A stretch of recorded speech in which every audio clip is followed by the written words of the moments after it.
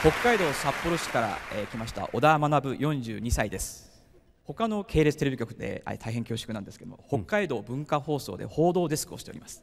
おお、あここにねワンワンショーっていうんですか？こんな感じ。報道と書いてありますけど、テレビ局の垣根を越えてはい。富士系列ですよね。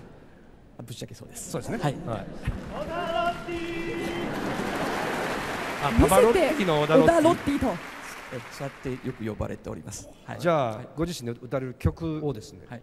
報道記者風に解説していただきましょうか。はい、東京オペラシティの現場です。発売書によりますとこれから登場するのはイタリア人で職業は道化師カニオという人物でして親子ほど離れた年齢の妻に浮気をされてしまったと見られていますえー調べに対しカニオはとりあえずは歌を聴いてくれ。えー歌が終わった後会見に応じるとも話しております。以上東京オペラシティからお伝えしました。そして実は今日小田さんのお子さんが見にいらしてるんですよね、えー。ああ手挙げてくれてる。娘さんに一言お願いしますえなっちゃん約束通り静かに聴いてるんだよ。それでは歌ってみましょう。曲はオペラ道化師より衣装をつけろです Vesti la giubba e la pace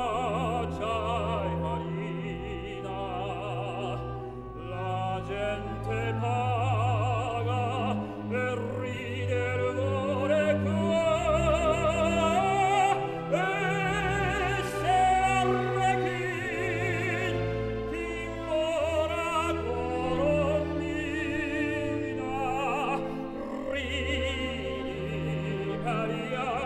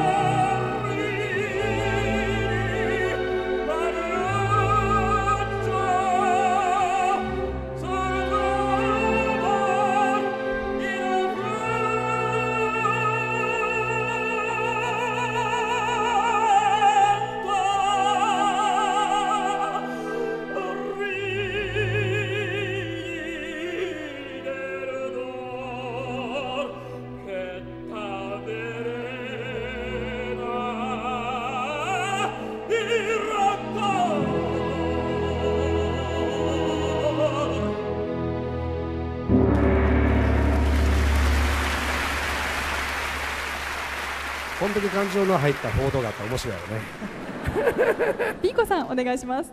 若い奥さんに浮気された男の人の悔しさっていうのは私には分かんないんですけどね。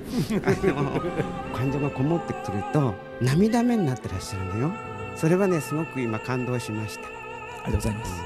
まあ、あのこれ私ものすごく大好きなアリアで最後は私もなんか涙目になりそうなぐらい一緒に感動させていただきました。ありがとうございました。ありがとうございましたオペラ道化師より衣装をつけろを歌いになられました小田学さんです。おめでとうございます。おめでとうございました素晴らしかったですえー、と仕事の合間休みの日とかはもう歌に結構あの時間とか、えー労力を費やすんですけど多大な理解を示してくれる妻に感謝します。ありがとう。おめでとうございます。なっちゃんいい子だったね。